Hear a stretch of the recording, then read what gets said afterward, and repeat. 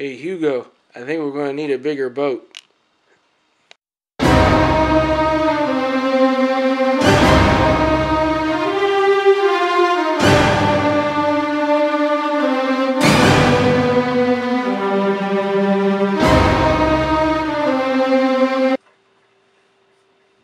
Hey guys, happy Homebrew Wednesday, happy Homebrew Friday, Thirsty Thursday, whatever it is for you in your neck of the woods, whenever I get this video up, it's going to be whatever. So, uh, one thing we're going to do is uh, homebrew review. Alright, what I have here, I don't know if you can see it in the light, it's a copperish, amberish color, nice creamy white head, about a two finger head. The head was uh, half the bottle, I had to wait for it to die down and then pour the rest in. Uh, it's been sitting on the shelf for, oh geez me, look at the notes. This is what I call my Eladio's wheat beer. And basically this has been on the shelf.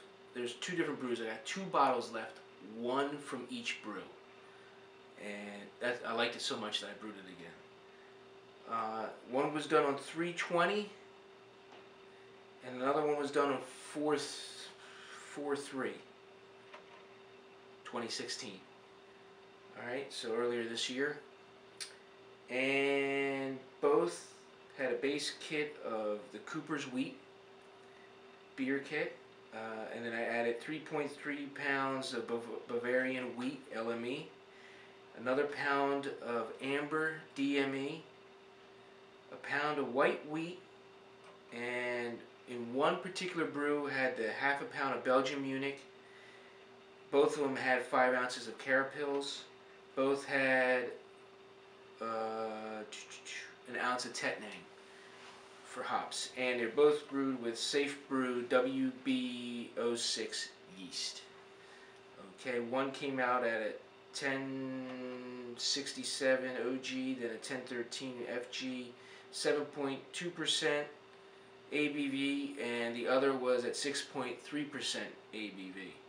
So the only difference between this beer and the other bottle, I'm going to do a review on that one as well, uh, uh, was the uh, Belgian Munich. One of them, I, I, I used it because I had some left over and the other did not. I either used, just did the white wheat with carapils.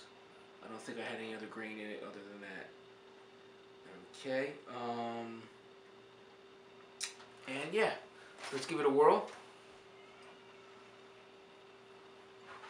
Interesting notes. We have some like uh,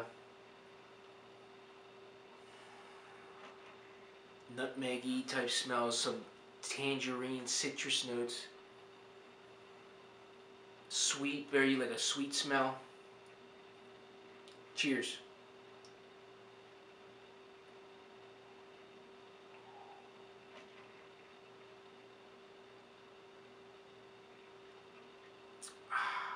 I needed that. Very thirst quenching. Not too bitter at all. Obviously, it just has the base hops, whatever it Cooper Coopers use for their base hops in their wheat beer, and the Tettnang that I threw in probably for either a 10 minute boil at the end. I just boiled it with some of the uh, probably the amber DME and the uh, LME the Bavarian LME and threw it in for 10 minutes, 10 to 15 minutes.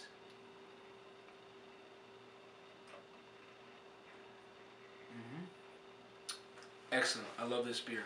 It's one of my favorites that I've ever done. So much of a favorite of mine that I named it after my grandfather. Hence, Eladio. Eladio's wheat beer. So, nice color. I don't know if you guys can really see that. This lighting's not too good, and I don't... Hugo, you got a flashlight? I don't have a flashlight. Oh, you know what? Hold that thought. See, my... Get my cell phone here. Bear with me. And, yeah, here we go. I don't know if you guys can see that. It's hazy. I don't know how the heck this is going to look on the camera, obviously but as you can see, maybe you can see from that way. Obviously not too clear. It is a wheat beer, uh, obviously, so it's going to be hazy. Has that nice, from my angle here, it has like an orangey, copperish gold tone. Very beautiful beer. Nice thirst quencher.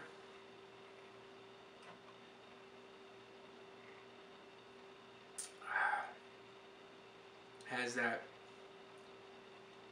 cit like a citrusy apricot tangerine-ish type smell and taste.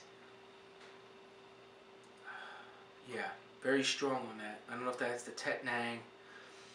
I've, it's hard for me to remember from when I did this. I should have did a review when I first did this beer. I would, it would when it was young, but even just being in the bottle for all these months, it still has the same flavor as it did then. Tastes great. So, uh, hope you guys are well. Been watching everybody else's videos. Everything, you know, guys are on the up and up. See, Paulie, you got a lot of them bruised down. Watched your videos this afternoon. So, cheers to you, my friend. Everybody else. Um, as you know, in our neck of the woods, it's Christmas, so we're getting ready for that. I showed some footage of our lights that we got, our tree, uh, my little ornament there. Oh, excuse me. Very carbonated. I don't know if that's true for the style or not, but I don't care. yeah, it's homebrew. And as long as I like it, it doesn't matter.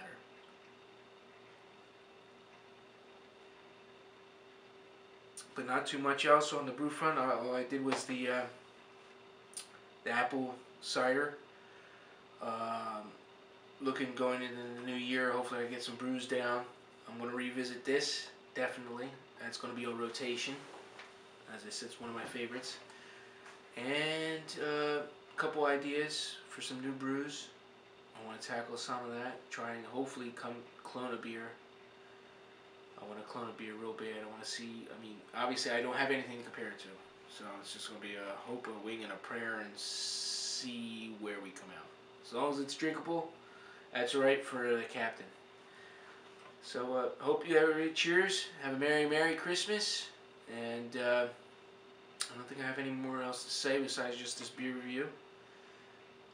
And uh, keep your mugs full. Hugo, you want to say it? I'll do it for him.